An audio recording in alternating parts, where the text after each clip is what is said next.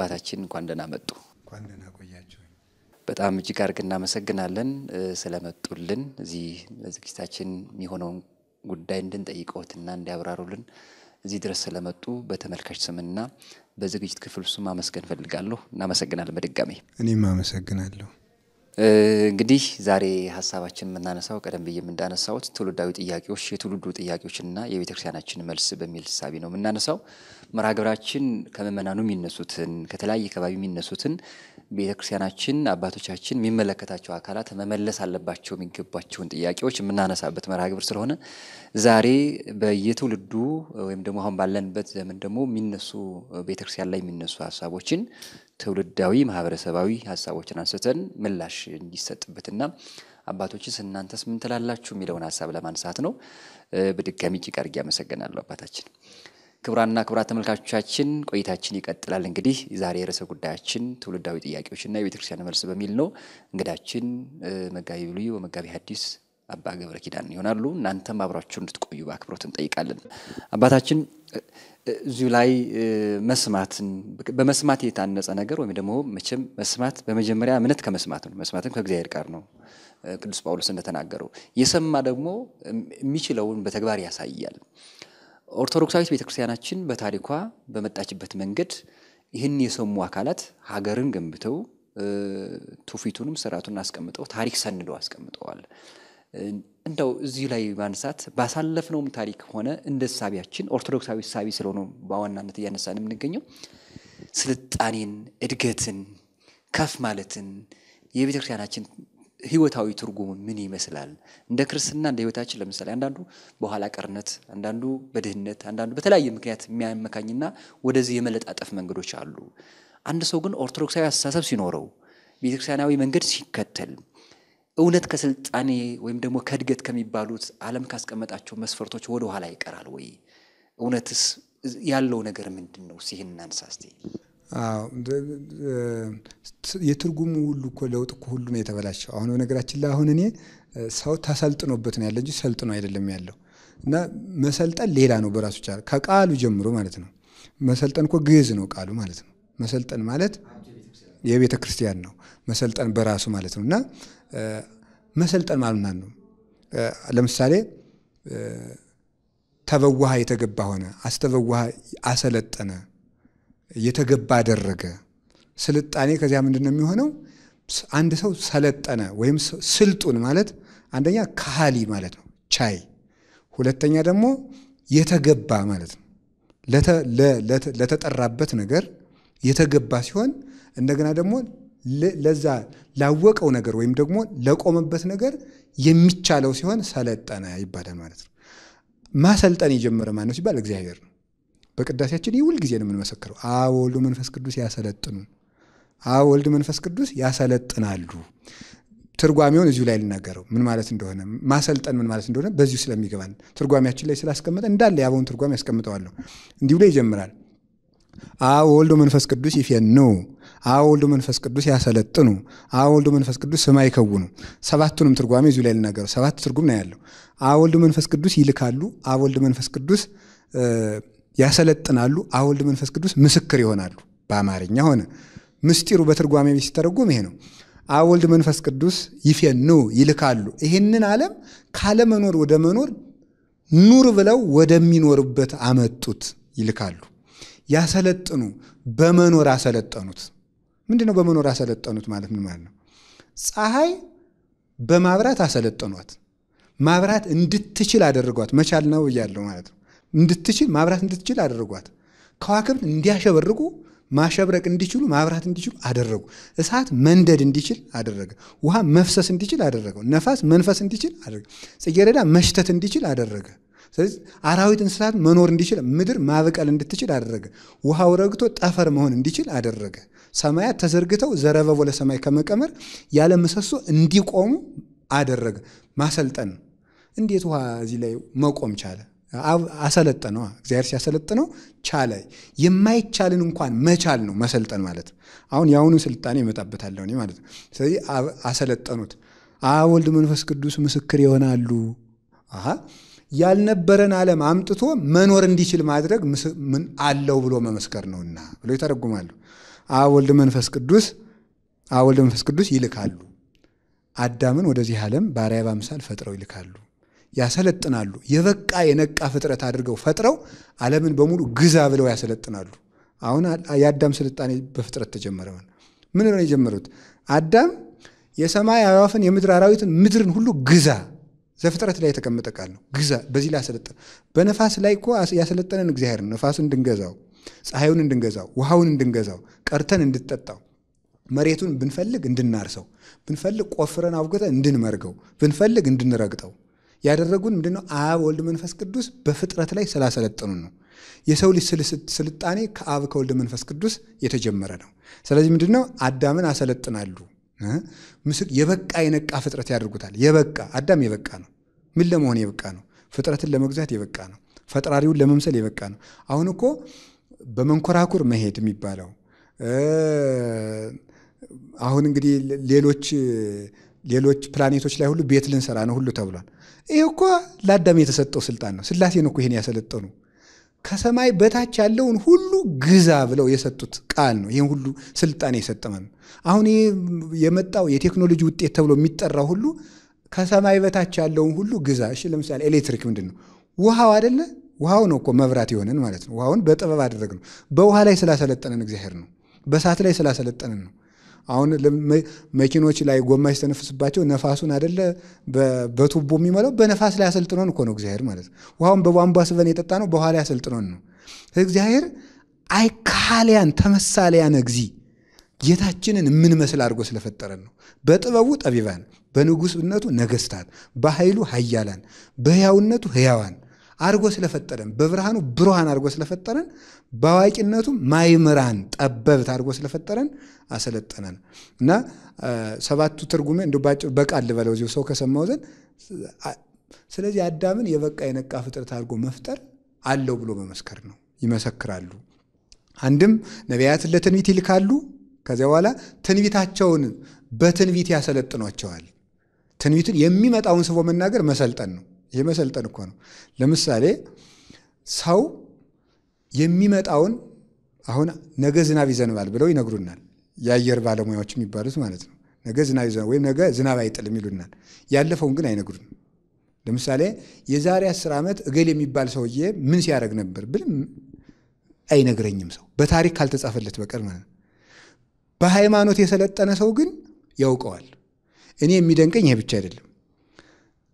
ሰው ሳይፈጠር የነበረን ነገር ሰው በሃይማኖት ሲሰለጥን ማወቅ ይችላል። ምሳሌ ሰማይና ምድር ሲፈጠሩ ሙሴ ነበር? የለም። እግዚአብሔር ሲያሰለጥነው ግን በመጀመሪያ እግዚአብሔር ሰማይና ምድርን ፈጠረ፣ በውሃው ላይም የእግዚአብሔር መንፈስ ሰፎበት ነበር። የታየው ሙሴ ብለን ብንጠይቀው ምን ይሆናል? ሃይማኖት ሲሰለጠን ያልነበሩበትን ዘመን ጭምር ያስቀኛል። የሃይማኖት ስልጣን የሚመጣውን ብቻ ሳይሆን የሌሉበትን ዘመን ሃይማኖት አሁን ዓለም የምታውቀው ዛሬ የምትኖርበትን ነው። ያም አይገባትም። ዛሬ ማታ ምን ሆና እንደምታደር አታውቅም። ያንን ቢሆን ማለት ነው እንኳን ዛሬ ከአሁኑ ቅጽበት ጀምሮ ምን እንደሚፈጠር አታውቅም፣ እያንዳንዱ ሰው ማለት ነው። ሃይማኖት ሲኖረው ግን በምድሩ ነው በሰማዩ ላይ የሰለጠነ ነው። በሰማዩ ነው በምድር ላይ የሰለጠነ ነው። አሁን ያለበት ሁሉ በዚህ ባለበት ሁሉ የሰለጠነ ነው። እንደገና ደግሞ ደግሞ በሌለበት ዘመን ያለፈው ላይ የሰለጠነ ነው።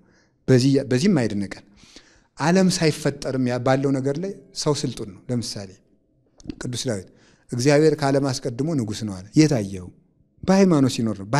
ሃይማኖት እንኳን በተፈጠሩበት ዘመን ያለውን እውቀት ያልተፈጠሩበትን ዘመን እውቀት አስቦ ያመጣል። ከዓለም በመፈጠር በኋላ የምንኖርበትን ዓለም ማየት የሚቻለው በምንድን ነው? የሰውን መጨረሻ የሚቻለው በሃይማኖት ሲሰለጠን ነው። ስለዚህ መሰልጠን ስለዚህ አብ ወልድ መንፈስ ቅዱስ ነቢያትን ለትንቢት ይልካሉ። በትንቢት አሰለጠኗቸው። በትንቢት አሰልጥነው የሌሉበትን ዘመን አዩ። አሁን የሚመጣውን ዘመን በትንቢት ሰልጥኖ ለምሳሌ ቅዱስ ጳውሎስ ነግሮናል። ለምሳሌ ልናገረው። ቅዱስ ጳውሎስ ለልጁ ለጢሞቴዎስ በላከለት መልእክቱ ምዕራፍ 3 ቁጥር 1 ላይ እንዲህ ብሎ ተናገረ። ወዘንተ ባሕቱ አይምር ጢሞቴዎስ ልጄ ጢሞቴዎስ ይህንን አወቅ ከመበዳሃሪ መዋይል ይመጻ ዓመታት እኩያት በመጨረሻው ዘመን ክፉ ዘመን ይወጣሉ። እሽ ምን ምን ይሆናል ብለን ጠይቅ። ሰብእሰ ይከውዱ መፍቀርያነ ርእሶሙ ወነዋይ ሰዎች በመጨረሻው ዘመን ራሳቸውን ይወዳሉ።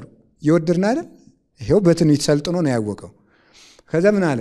ገንዘብን ይወዳሉ። አሁን እኮ ዋናው አምላክ ገንዘብ ሆኗል። ገንዘብን የሚወዱ ይሆናሉ። ጸላእያነ ሰናይ መልካሙ የሚጠሉ ዛሬ ጾም የማያስጠላው ማለት ዛሬ ጸሎት የማያስጠላው አለ? ዛሬ ቤተክርስቲያን በብርድ መሄድ የማይሰቀቅ ማን ነው? ዛሬ ተግሳጽ ዛሬ ስግደት የማይጠላ መፋቀርን የማይጠላ ማን ዛሬ?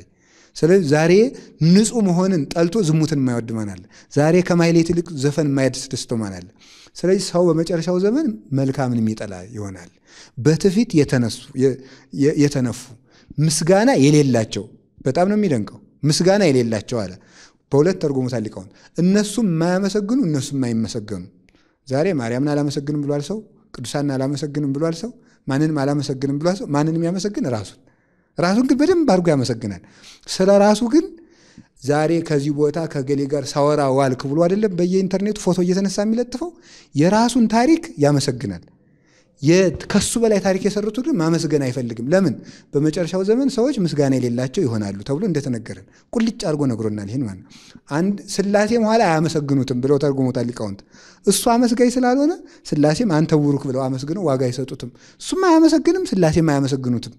እንዲህ አይነት ስለዚህ የአምልኮ መልክ ያላቸው ግን ኃይሉን የካዱ ይሆናሉ ብሎ እንደተናገረ ስለዚህ ይህንን በምን ያወቁ ሲባል በትንቢት ሰልጥነው ነው። ስለዚህ እንዲያው ልጠቅልለውና ሰው ሰለጠነ የሚባለው ሲባል ምንድን ነው? እሱ ሲሰለጥን ነው እንጂ ሌሎች ሲሰለጥኑበት ነው አይደለም ሌሎች ሲሰለጥኑበት አይደለም። አንድ ሰው በፍጥረት ላይ እንዲሰለጥን ነው። ዛሬ የሰለጠነ ማን ነው? አሁን ለምሳሌ ዛሬ ፍጥረት በሰው ላይ ሰልጥኗል እንጂ ሰው በፍጥረት ላይ አልሰለጠንም። ሰው በፍጥረት ላይ አልሰለጠንም ማለት ራሱን መግዛት አልቻለም። ሰው ራሱን መግዛት እኮ አቅቶት የሚያየውን ነገር ማቁተት አቅቶት ለምሳሌ በሱስ ተጠምዷል።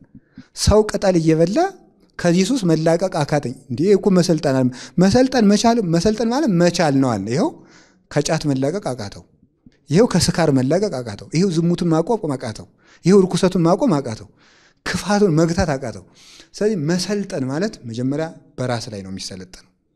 ራሱን ያሳደገ ሰው ሰልጥኗል። ከዛ ምን ያደርጋል? ሰው በራሱ ላይ ራሱን ሲገዛ ፍጥረትን ይገዛል። ፍጥረትን ሲገዛ ሰለጠነ ይባላል። ቅዱሳን ለምሳሌ ሰልጥነዋል። በጣም በምድር ላይ አንደኛ ስልጡን ማለት ጻድቃን ናቸው። ቅዱሳን እንዴት ነው ስልጡንነታቸው? ራሳቸውን ገዙ። መግዛት አለ ገዙና ራሳቸውን ሲገዙ ምን አደረጉ? እዚያ ብለው ይገዛላቸዋል። ዘንዶውን ይገዙታል።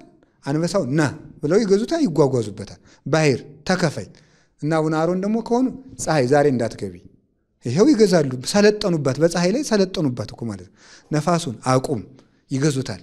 ከዛ አራዊቱን ዝንጀሮውን አቡነ ተክለ ሃይማኖት ሲሆኑ አዝመራ እንዳትበሉ ወንጌል በምሰክሩበት በክርስቶስም ጸጥ። አቡነ ገብረ መንፈስ ቅዱስ ሲሆኑ የበላችሁትን አንበሳ ትፉ አንበሶችን፣ አንበሳውን ጸጥ። አቡነ ተክለ ሃይማኖት ዘንዶውን ተረተሩት። አቡነ አረጋዊ ዘንዶውን መሰላል አድርገውበት ወጡ። ዘንዶን ገዙት ማለት ነው። ምድርን ገዟት። ኤልያስ አብቀይ ማብቀል አታብቂ፣ አላበቅልም። ዝናብ ሰማይ ስጥ፣ እሺ። አትስጥ፣ እሺ። ሰማይን ገዙት፣ ምድርን ገዙት። ስለዚህ የሰለጠኑ እነማን ናቸው? ቅዱሳን ናቸው። አሁን ግን አሁን ግን እኔ እውነት የምናገረው ፍጥረት በሰው ላይ ሰልጥኖ ሰው የወደቀበት ዘመን ማለት ዛሬ ነው። ፍጥረታት በእኛ ላይ ሰልጥነዋል። ገንዘብን ልንገዛው ነበር፣ ገዝቷል። መጠጥ ሰውን ሊገዛ አልተፈጠረም፣ ሰው መጠጥን ሊገዛ ነው። ስለዚህ ሰው በምን ሆናል? ስለዚህ መጠጥ በሰው ላይ ሰልጥኗል። መሬትን ሰው ሊገዛት ነው የተፈጠረ። መሬት በሰው ላይ ሰልጥናለች። በመሬት ከተጋደል መሬት ሰልጥናብናለች ማለት ነው። እኛ መሬትን እየገዛናት አይደለንም ማለት ነው። ስለዚህ አሁን እኛ ሰልጥነን ሳይሆን ወርደን ወርደን ወርደን ኋላ ቀር ሆነናል። እና ማን ነው የምታሰልጥነን ከተባል ቤተክርስቲያን የምታሰልጥነን። እና መቻል ከዚያ በኋላ ምን አለ ጌታ የመጨረሻውን የመሰልጠኛ ቃል እኮ የሰጠን እሱ ነው። እንዲህ ብሎ ምን የሰናፍጭ ቅንጣት ካል ከሌላችሁ እምነት ካላችሁ ተራራውን ተነቀል ብላችሁ ብትሉት ይነቀላል ማለት ነው። አሁን ዛሬ ተመልከቱ፣ ሰው ተራራን መግፋት ቀርቶ የራሱን ምኞት መግፋት አቅቶታል።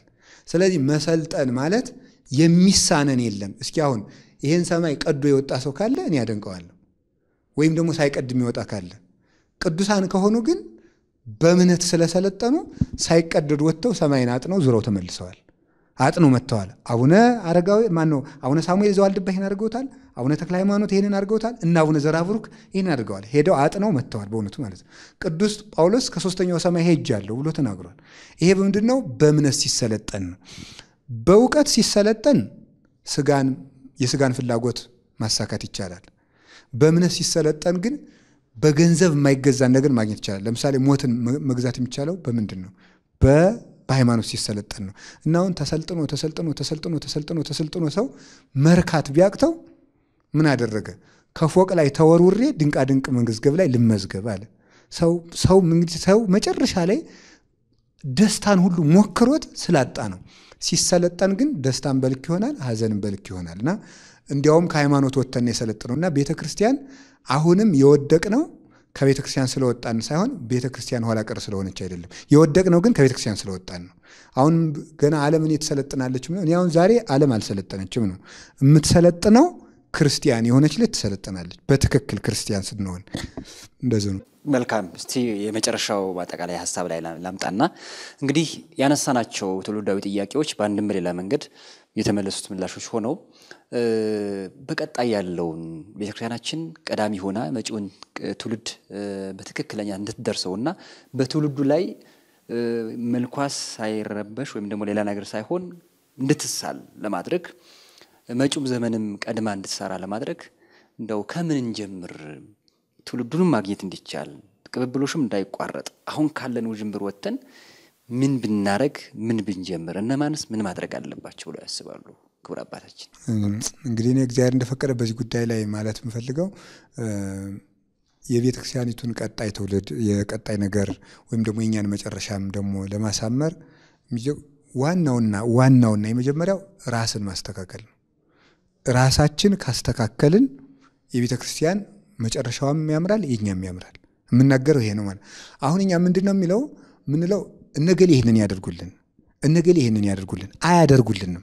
አንድ ነገር ልናገር። ለምሳሌ የእስራኤል ስደት የሚመጣው በአሕዛብ ክፋት አይደለም፣ በእስራኤል ክፋት ነው። ደግሞ ልመልሰው ልገልብጠው። የእስራኤል ከስደት መመለስ የሚመጣው በአሕዛብ ደግነት አይደለም፣ በእስራኤል ደግነት ነው። አሕዛብማ ክፉ ደጉ ነው። እስራኤል ለቀዋቸው አያውቅም።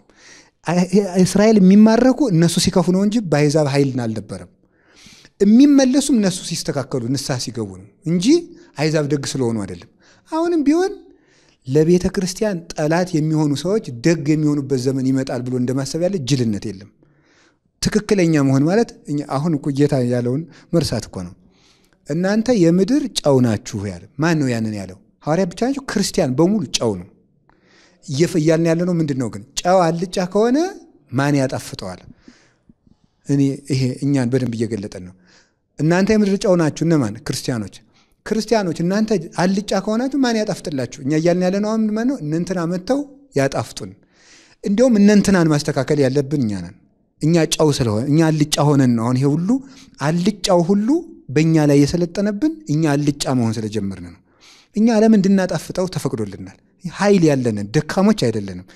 ታዲያ ምንድን ነው ስንባል ራሳችን አላስተካከልንም። እግዚአብሔር ከማን ጋር ልስራ እያለ የሚልበት ዘመን ይመስለኛል። እግዚአብሔር ከማንም ጋር የሚሰራ አምላክ ነው። ግን ማንም ሰው እግዚአብሔር አብሮት እንዲሰራ ግን እየፈቀደ አይደለም። እኔንም ይጠቀልላል ሁላችንም ማለት ነው። ስለዚህ ወደ ራሳችን ተመልክተን አሁን ምንድን ነው እኛ እያለን ያለ ነው መዋቅራዊ መደረጃጀትን ብቻ ነው እያሰብን ያለ ነው። ቤተክርስቲያን እንዲህ ማሰብ አለባት። ጠቅላይ ቤተ ክህነት እንዲህ ማድረግ፣ ቅዱስ ሲኖዶስ እንዲህ ማድረግ አለበት። ካህናት እንዲህ ማድረግ አለባቸው። ካህናት ማህበራት እንዲህ ማድረግ አለ። ወጣቱ መደራጀት አለበት። ጭድ ቢደራጅ ከእሳት አይድንም፣ ይቃጠላል። ተስተካክለን ከተደራጀን ግን ለውጥ እናመጣለን። ተስተካክለን ማለት ነው። ስለዚህ የምንደራጀው ምንድን ነው? እሳት ከሆን ግን እሳት በእሳት አይበላም። የእግዚአብሔር የእሳት ልጆች እሳት ከሆን እሳትን እሳት ስለማይበላው ሰለስቱ ደቂቅ እኮ እሳቱ ያልበላቸው እነሱ እሳት እግዚአብሔር ለብሰው ስለገቡ ነው። እሳት እሳት አይበላውማ። እኛ ግን ጭድ እሳት ይበላናል። ብንደራጅም ለመቃጠል ነው የምንደራጀው፣ ለመጥፋት። እኔ የምናገረው ጌታችን መድኃኒታችን ኢየሱስ ክርስቶስ ሐዋርያትን በግለሰብ ደረጃ አስተካክሏቸዋል። የቅዱስ ጴጥሮስን ድክመትም ለራሱ አስተካክሎለታል። የሐዋርያትን የሁላቸውን ድክመት ከዛ የአስራ ሁለት የተስተካከሉ ሰዎች ጥርቅም ቅዱስ የሐዋርያት ጉባኤ ተባለ። ቅዱስ የሐዋርያት ጉባኤ ቅድስት ቤተ ክርስቲያን ሐዋርያት የሰበሰቧት ቅድስት ቤተ ክርስቲያን መጣች ማለት ነው። ከተስተካከሉ የግለሰቦች ውህደት የመጣ ነው ይሄ ማለት ነው። አሁን ሁላችንም መስተካከል አለበት። ሁሉም እኔ እየፈረስን ነው የምለው። አሁን እኔ ሁልጊዜም ባገኘሁት አጋጣሚ ሁሉ እናገራለሁ። ቤተ ክርስቲያንን የሚያስቀጥሉ ሶስት ሰንሰለቶች አሉ። እነሱም ምንድናቸው? ምንኩስና፣ ትዳርና ክህነት ናቸው። እነዚህ እክል ስለገጠማቸው ነው አሁን ቤተክርስቲያን እየተቸገረች ያለችው። ሌሎች ሰዎች ክፉ ስለሆኑ አሕዛብ ክፉ ስለሆኑ አይደለም። እነሱ ደግ የሚሆኑበት ዘመን ነገ ምን ያልጠብቅም ነው። ሰይጣን ባለበት መልካም ነገር አይመጣም። እኛ ግን የጎደለን ይሄ ነው። በተከበረ ምንኩስና፣ በተከበረ ክህነት፣ በተከበረ ትዳር ቤተክርስቲያን ትቀጥላለች። ምሳሌ ምን ማለት ነው? የተከበረው ትዳር የተከበረ መነኩሴ ይወልዳል። የተከበረ መነኩሴ የተከበረ ጵጵስናን ያበጣል። የተከበረ ጵጵስና የተከበረን ትዳር ባርኮ ያጋባል። የተከበረ ጵጵስና የተከበረ ክህነትን ይሾምና የተከበረው ክህነት የተከበረ ትዳርን ይባርክና ያጋባል። የተከበረው ትዳር ደግሞ መልሶ ደግሞ የተከበረ ካህን ይወልድ። በዚህ ዑደት ነው የምንቀጥለው ማለት ነው። አሁን ግን ምንጩ ሁሉ ደፈረሰ፣ እየደፈረስ ነው። ምንኩስናውን እያደፈረስ ነው። ምንኩስናውን የሚያደፈረስ ነው ሰው አንደኛ በስሜት የሚመነኩስ አስኮላ ተማሪ የሚበጠብጥ ማለት ነው። እውነት ለመናገር ማለት ነው። ውጤት ሲቀርበት ሁሉ እየመነኮሰ ገዳም እየገባ ሁሉ ብጥብጥ እያደረገ ስርዓተ አበው እያፋለሰ ስርዓተ ገዳም እየተቀነሰ ስለሄደ ይህን ችግር የመጣብን ማለት ነው። መነኮሳትን በየገዳሙ እያዘን እየመሰልን ስለምናበላሽ ያለመዱትን ምቾት እያስለመድ እያንዳንዱ የከተማ ሰው የግሉን መነኩሴ ያበጅቷል። አሁን የግሉን መነኩሴ ማለት መጥተው ጸሎት የሚያጥኑለት ሲፈልጉት በዚህ ጊዜ ይምጡ ተብሎ ሲደወልለት መጥቶ ከከተማ መጥቶ ባርኮ የሚሄድ ነው ወለተ ማርያም ተብሎ የሚበጅ መኖር የለበትም። ከስርዓተ ገዳም ለብቻው እንዲያስብ ለብቻው ወጥ እንዲሰራ ከመቁኑን ወጥቶ በየገዳሙ እንዲሄድ ያደርገው ማን ነው? ሰው ነው። መልሶ ያ መነኩሴ ተበላሽቶ ሲያይ ደግሞ ህዝቡ ደግሞ ምን አባታለን ማለት ይጀምራል። ያበላሸ ራሱ ነው። ከበለስ እኮ ኩርንችት ከኩርንችት በለስ እኮ አይለቀምም። ከረከሰ ትዳር ቅዱስ መነኩሴ እኮ አናገኝም። ስለዚህ ያን የዘራ ነው እንምናጭ ነው። ስለዚህ ትዳሩ መቀደስ አለበት፣ ድንግልናው መቀደስ አለበት። በየቦታው ድንግልና እየተጣለ በየቦታው ተወልዶ እየተጣለ ጽንስ እየወረደ የዚህን ግፍ ደግሞ እናጭደዋለን መልሰን ማለት ነው። እግዚአብሔር ብዙ ተባዙ ምድር ሙሏት ቢል እኛ ደግሞ ራስ ወዳድና ስግብግቦች ስለሆን ነገ ይርበኛል ተብሎ የእግዚአብሔርን ትውልድ እያቋረጥን ይህን ሁሉ ግፍ በመፈጸማችንና ክርስቲያናዊ ሰብዕና ስለሌለን የምንረካው ለቤተ ክርስቲያን በምናደርገው ትንንሽ ነገሮች የምንጸድቅ እግዚአብሔርን እንደ ጉቦኛ ሰው እያታለል አንድ የወርቅ ጥላ በማስገባት የሆነች ብር በማስገባት እግዚአብሔርን ሸንግለን ልንጸድቅ ውስጣችን ተኩላ ሆኖ ማለት ፍቅር ሳይኖረን እንዲህ ያለው ነገር ስላለ መስተካከል ያለብን ከቤታችን ነው። ከቤት ከተስተካከል ምንድን ያለ ብርሃናችሁ በሰው ፊት ይብራ ነው ያለ። ምንጊዜስ ቢሆን ክርስቶስ የሌላቸው ሰዎች ለእኛ ሊያበሩልን ነው እንዴ? ለቤተክርስቲያን ሊያበሩልን ነው? የምናበራ እኮ እኛ ነን። እኛ ጨልመን ማን ሊያበራልን ነው? የጨለምነው እኛ ነን። ስለዚህ ሁላችንም መነኩሴው ምንኩስናውን እኔም ማለት ነው ካህናትም ክህነቱን እንደገና ደግሞ ባለትዳሩም ትዳሩ ምዕመኑም የድርሻውን። ስለዚህ አሁን ማንም ሰው ማለት ነው ቤተክርስቲያን ነው እንዲያደረገችን አባቶች ሰንፈው ነው። እኔ ማንንም ስለ ማንንም የምፈራውም ነገር የለኝም የምለውም ነገር የለኝም። እውነቱን ለመናገር እንግዲህ እንደ መመጻደቅም እንዳይሆን እንጂ ለማንም አባት ለማንም ጠበቃ ቁሚ አይደለም። አባቶች እንዲያደርገውን አንተ ምን እያደረግክ ነው? ራሱ ሙልጭ አድርጎ እየሰረቀ እርግጠኛ ሆኜ የምናገረው አንድ ምዕመን ቤተ ክርስቲያንን ያሻግራል። አንድ ምዕመን አንድ ንጹሕ ክርስቲያን ከተገኘ እሺ፣ አባቶች በቃ እሺ፣ ጎስቁለናል፣ ርክሰናል፣ እሺ፣ ህዝቡ እንደሚያስበው እኛ በቃ ጠፍተናል፣ እሺ፣ ግድ የለም ምዕመኑ ቅዱስ ከሆነ እኮ አንድ ምዕመን ያሻግራል። እንዲሁ ከሆነ እኮ በአንድ ታሪክ አንድ አማሌቃዊ ንጉሥ ነበረ። ከዛ አብርሃም ሶርያዊን ፈተነው። ከእናንተ መጽሐፍ የሰናፍጭ ቅንጣት ያለ እምነት ብትኖራችሁ ተራራ ተነቀል ብትሉት ይነቀላል ሚላል። አዎ ወንጌል ነው። ታደርገዋለህ? አባቶቻችን ያደርጉት ነበረ። አንተስ አድርገው እንጂ ቀን ስጠኝ ሶስት ቀን ሶስት ቀን ጸልይ፣ አንተ አይሆንልህም የአልባሌ መጥቶ ተርታ ሰው መስሎ ቅርጫት እየሰራ እየሸጠ የሚተዳደር ለልጄ ፍቅር አይኑን አውጥቶ የጣለ ስሞን የሚባል ሰው አለ፣ ጫማ ሰፊው እሱ ነው ተራራውን የሚያፈልሰው አለችው። ጳጳሱ ያልሆነለትን ምዕመኑ አፈለሰና ጵጵስናውን አስቀጠለው ማለት ነው። እኛ ቢያቅተን እንኳን ራሳችን ከቀደስን እግዚአብሔር በምዕመንም ቤተክርስቲያንን ይታደጋል። ስለዚህ አሁን እኔ የምናገር የምፈልገው መጨረሻ ላይ በዚህ ጉዳይ ላይ የሰው ድርሻው ምንድን ነው? አንደኛ ክፋቱን መቀነስ አለበት። የራሳችን ክፋት ሁሉም ሰው ማለት ነው። ሁሉም ሰው ክፋቱን መቀነስ አለበት። ክፋትን መቀነስ ብቻ ደግሞ አንድ ሰው በሽ ኃጢአታችንን ሁላችንም መናዘዝ አለብን። መልካም ነገሮችን መለማመድ አለብን። እንደዚህ ያደረግ እንደሆነ ከጸለይን የቤተ ክርስቲያን ሰው ከሆን ጸሎት ካላቋረጥ ስጋው ደግሞ ከተቀበል አሁን ክርስቲያን ማለት ዘክርስቶስ ማለት ነው። የክርስቶስ ማለት ነው። ስጋው ደሙን ያልተቀበለ ሰው ክርስቲያን አይደለም። ሳይቆርብ ክርስቶስ አብሮት የለም። ክርስቲያን ሳይሆን ደግሞ የክርስቲያን መብት አይከበርለትም። እግዚአብሔር ለክርስቲያን ጥብቅና የሚቆመው እኛ ክርስቲያን መሆን ስንጀምር ነው። ክርስቲያን ካሉ ሰይጣን በሰይጣን እኮ አይወጣም። ሰይጣን በሰይጣን አይወጣም። እኛ ሰይጣን ከሆን ሌሎች ሰይጣን ናቸው ብለን ካሰብን እኛም ሰይጣን እነሱም ሰይጣን ከሆነ ከእኛ እጃቸውን ሊያነሱልን አይችሉም። ሰይጣን የሆነን ሰው መልአክ የሆነ ሰው ነው የሚያስወጣው። ሰይጣን በመልአክ ግን ይወጣል። ሰይጣን በሰይጣን ግን አይወጣም።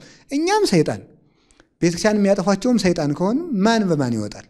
ማን ከማን ማንን ያስወጣል? ስለዚህ ማለት ያለብኝ ወደ ራሳችን እንመልከት። ኃጢአት የቅድሜ ውቱ በኩሉ ጊዜ ስላለ የጠቢብ ዓይን በራሱ ላይ ነው ብሏል ሰሎሞን። ራሳችን አይተን ሁላችንም ካስተካከል ከስድብ አርበኝነት፣ ከፉከራ አርበኝነት ዝም ብሎ ይሄ ደግሞ በፉከራ ከመርካት አርበኝነት ወጥተን ስራ ከመስራት ጋር ብንዋሃድ ክርስቶሳዊ ብንሆን ክርስቶስ ቤተክርስቲያንን ይመራል ብዬ አስባለሁ። የሚመራት ክርስቶስ ስለሆን የክርስቶስ ከሆን ቤተክርስቲያንን በክርስቶስ ትቀጥላለች። የክርስቶስ ካልሆነ ደግሞ የክርስቶስ ያልሆኑትን እየቆረጠ እየጣለ የክርስቶስን ይዞ ይቀጥላል እሱ ማለት ነው። በጣም እጅግ አድርጌ አመሰግናለሁ መጋቢ ብሉይ ወሐዲስ አባ ገብረ ኪዳን ግርማ። በጣም እጅግ አድርጌ አመሰግናለሁ። በእኔ ስም በእኛ በዝግጅት ክፍል ብቻ አይደለም በተመልካች ስም አመስገን እንፈልጋለን።